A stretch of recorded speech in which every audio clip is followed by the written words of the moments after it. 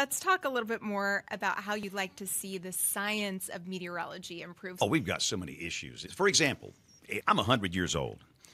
When I was a child, when I was a little boy, nobody could tell me at 7 o'clock in the morning exactly when and where it would rain on a summer afternoon. Sure. Here we are in 2025, and guess what?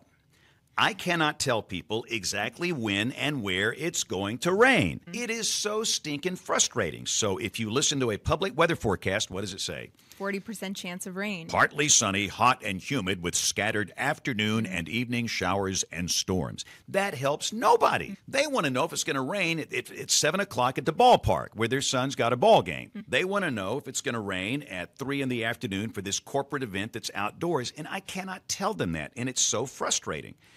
And of course, they get their app, and this most apps are model output, and we mm-hmm. models.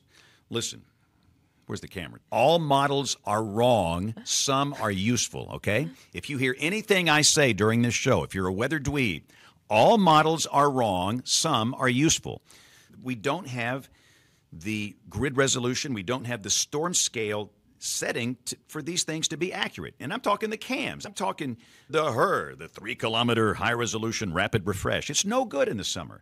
So that's one of our biggest challenges down here. That's an example of how far we have to go. There is so much we don't know. But listen, and here's the problem, I think, to me, the basic problem. We're still launching balloons full of hydrogen twice a day. What happens in 12 hours in the atmosphere that we don't know about? A lot. And this Yeah. data is what goes into the global models and the mesoscale models. And I know there's some aircraft data and some drone stuff going on here, but we've got to do better than that. We have to figure that out. We have to have better data, better mm-hmm. input to have better output to solve some of these problems that we have. And we just have to be better.